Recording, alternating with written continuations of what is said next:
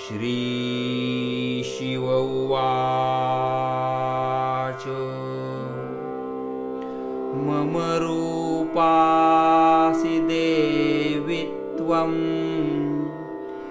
त्वत्प्रीत्यर्थं वदाम्यहम्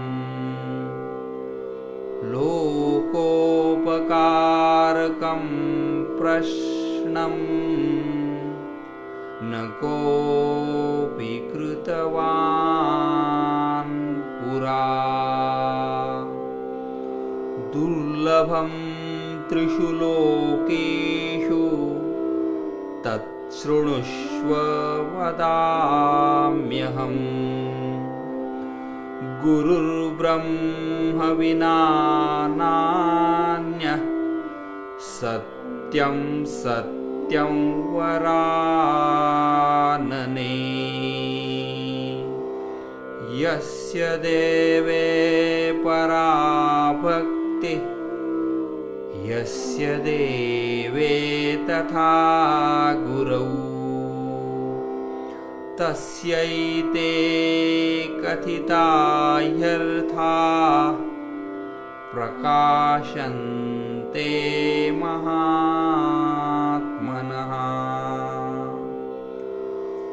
गुकारस्त्वन्धकारस्यात् ऋकारस्तन्निरोधकः।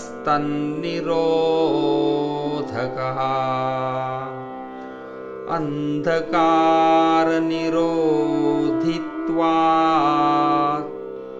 गुरुरित्यभिधीयते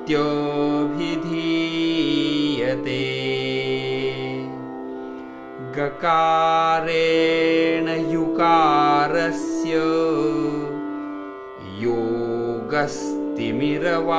योगस्तिमिरवाचकः अन्धकारविनाशित्वा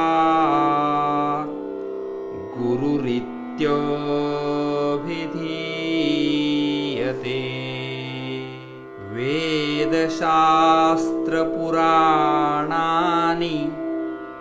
जानाति कृपया गुरोः। अतो लोके गुरुः साक्षात् वर्तते वेदतत्त्ववित्। शैवशाक्तागमादीनि तथान्ये बहवो अपभ्रंशः समस्तानां जीवानां भ्रान्तचेतसाम् यज्ञो व्रतं तपोदानम् जपस्तीर्थं तथैव च गुरोस्तत्त्वम् अविज्ञाय समग्रं निष्फलं भवेत्। गुरोः ज्ञानात्मनो नान्यत् तत्त्वं सत्यं न संशयः तत्लाभार्थं प्रयस्नस्तु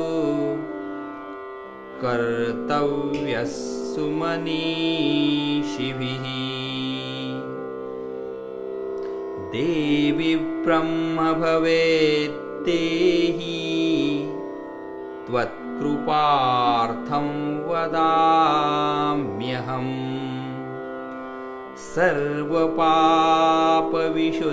सर्वपापविशुद्धात्मा श्रीगुरोः पादसेवनात् काले तीर्थावगाहस्य सम्प्राप्नोति फलं नरः। गुरोः पीत्वा शे अर्घ्यं शिरसि धारये।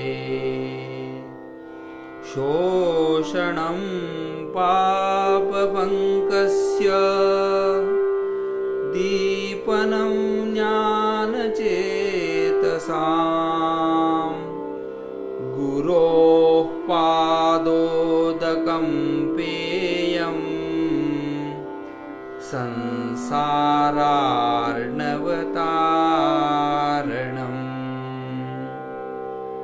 अज्ञानमूलहरणम्। जन्मकर्मनिवारणम्। ज्ञानवैराग्यसिद्ध्यर्थम्।